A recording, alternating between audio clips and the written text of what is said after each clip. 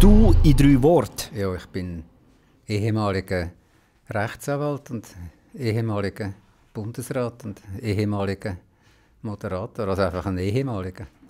Von welchen drei Menschen oder Quellen hast du im letzten Jahr etwas gelernt oder wem bist du gefolgt?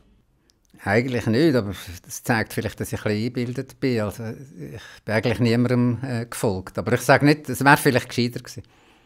Podcast oder Buchempfehlung? Ja, das, das wechselt natürlich äh, ständig. Also jetzt äh, lese ich dann gerade vom Alex Gappus äh, sein neues Buch, freue mich sehr darauf. Ähm, also die Bücher, die mir geblieben sind, sind eigentlich Bücher, wo, wo über andere Bücher. Es gibt zum Beispiel von Peter von Matt die Intrigen in der Literatur. Wenn man das liest, dann, dann äh, braucht er eine ganz lange Zitat, seitenweise, und dann lernt man alle die anderen Bücher auch äh, kennen und hat einen Überblick. Man kann auch hinten anfangen lesen, nach vorne und umgekehrt. Das andere solches Buch ist von Harrison, Gärten.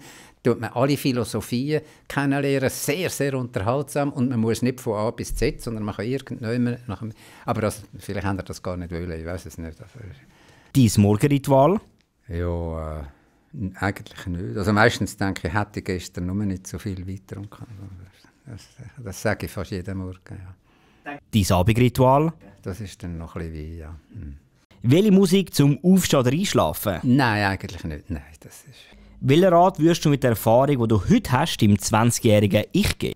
Ja, das ist eben nicht ein 20-jähriges Ich, das ist eben jemand anderes, oder? Und, und, und äh, dem würde ich nur die Ratschläge geben, wie er mich konkret fragt. Aber so allgemeine Ratschläge wie «Folge deinem Gewissen» oder so, das, ist so, das sind für mich Kalendersprüche, das, das ist nicht so viel. Man muss konkret da sein für einen Jugendlichen, der einem so etwas fragt. Und wenn es um mich, um ich geht, ich bin ja jetzt eben nicht 20.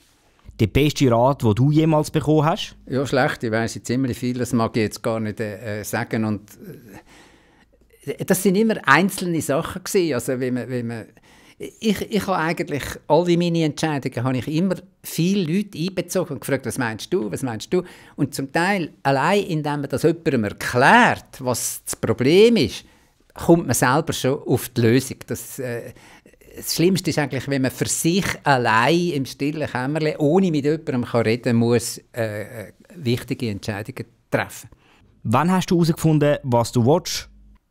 Kommt ein bisschen darauf an. Also, also beispielsweise, wenn wir jetzt vom Bundesrat reden, das, das habe ich vielleicht etwa fünf, sechs Jahre vorher herausgefunden, äh, wo, ich, wo ich während einer parlamentarischen Arbeit äh, gefunden habe, ich kann doch nicht immer nur äh, die anderen anschwärzen, ich muss einmal selber Verantwortung machen. Das hat es mir auch Lust gemacht, für den Bundesrat zu kandidieren. Dort, oder? Aber das ist, es gibt viel, das ist jetzt aber auch, das ist nicht mein Leben, oder? Ich bin ja dann auch zurückgetreten und äh, auch jetzt, nach dem Rücktritt, habe ich zum Teil Entscheidungen getroffen und gesagt, ja nein, jetzt ist fertig und, und, und Angst vor dem Scheitern? Ja, vielleicht nicht Angst, aber, aber ich meine, vor jedem Auftritt äh, hat man vielleicht befürchtet, uh, das könnte schief gehen und, und uh, hoffentlich passiert das und jenes nicht. Und, und das steigert aber auch den Adrenalinspiegel. Das ist, es ist aber vielleicht nicht eine Angst, die einen beklemmt und dann getraut man sich gar nicht mehr zu machen, sondern äh,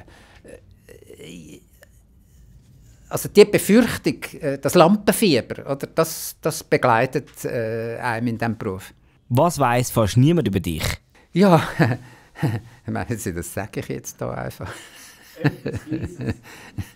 Nein. das kommt mir nicht in den Sinn. Wer ist in deinen Augen erfolgreich? Ja, eigentlich, wenn man, wenn man das erreicht, was man selber gerne möchte. Und das ist nicht immer nur äh, vielleicht äh, Geld oder, oder, oder äh, eine hohe Stellung im Beruf, sondern das kann äh, vielleicht etwas ganz anderes sein. Zum Beispiel, wenn man sagt, ich möchte gerne zwei Tage in der Woche für meinen Sohn da sein. Oder irgend so, dann zieht man das durch. Oder, oder ich äh, möchte jetzt äh, weiß ich was, eben, ich sage jetzt mal, kein Fleisch essen, nicht. aber allein die Tatsache, dass man dann das machen kann, dann ist man für sich selber erfolgreich äh, gewesen. Das kann so etwas ganz, ganz äh, Persönliches auch sein und das ist dann auch ein Erfolg. Es ist nicht immer nur Karriere. Was ist dein Antrieb Tag für Tag? Das ist eben schwer zu sagen. Ich glaube, der Antrieb, das ist, das ist etwas, wo im Mensch innen ist und, und, und du weißt nicht, es gibt ein, ein berühmtes Gedicht, äh, ich weiß nicht, wo, wo ich hingehe, warum, warum, ich wundere mich, warum ich so fröhlich bin. Oder, ja, was ist eigentlich der menschliche Antrieb? Ich, ich, ich kann es nicht definieren. Aber Gott sei Dank ist er da. Ein Zitat, nach dem du lebst oder wo du oft daran denkst? Nein, eben, ich, nicht so Zitat und Kalendersprüche, das ist, ich glaube nicht so ganz daran. Dein bester Kauf für unter 100 Stutz?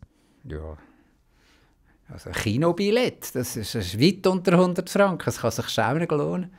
Was ist für dich Glück? Ja, also, eben, vielleicht findet es mich einmal, äh, weil, weil äh, ja, Glück wäre, wenn man, wenn man dann überhaupt keine anderen Wünsche mehr hat. Aber die kommen meistens sehr bald wieder.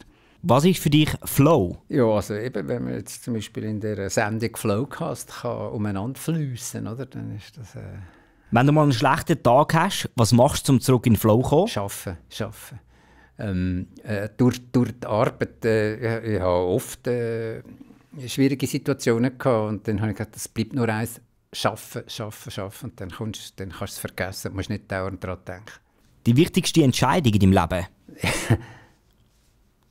ja, vielleicht, dass ich dam damals Anwalt geworden bin, weil äh, eigentlich äh, bin, ich, bin ich Zeit meines Lebens ein, bisschen ein Anwalt geblieben. Es ist so ein wie eine Übersetzung von, von, von, von einer Sprache in die andere. Ich habe Leute vertreten vor Gericht, die durch die Richter auch nicht verstanden worden sind und ich konnte das können, können äh, übersetzen und, und, und eigentlich ist, ist dann die politische Arbeit etwas ganz Ähnliches gewesen. Bist du gut im Nein sagen? Und wenn ja, gibt es einen Tipp, wie man das am besten lernen kann? Nein, leider nicht so. Nein, es ist, äh Vor was hast du am meisten Angst? Eben, Angst ist ja eigentlich eine, eine Beklemmung. Oder? Das ist, äh, man sollte sich lösen von, von Angst. Und dass ich jetzt gerade vor etwas Bestimmtem Angst habe. Also. Dein Wort zum Sonntag? Ja, ich weiß nicht. Also jetzt, der, der, der, Bundesrat darf ja nicht einmal mehr am Fernsehen äh, seine Meinung vor Abstimmungen sagen. Und, und das heißt, das Wort vom Sonntag ist, darf man auch nicht. Man darf nicht einfach jemand im Fernsehen äh, im Namen vom lieben Gott reden. Man müsste immer noch ein bisschen Teufel mitreden. Also von daher kann ich selber gar nicht. Was schreibst du bei offiziellen Formular bei der Spalte Beruf? Moderator schreibe ich, weil da kann sich jeder etwas anderes darunter vorstellen. Und es ist trotzdem die Wahrheit.